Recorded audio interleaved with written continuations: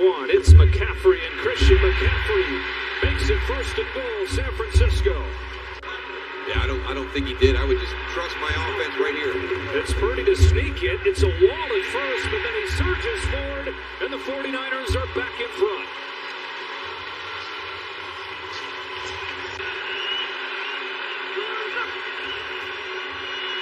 Smith on the roll. Second level throw, DK Metcalf.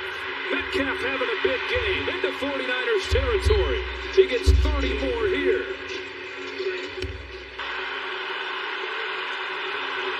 They bail. Smith has an open window and a first down to Tyler Lockett. Niners rush four. On the slant.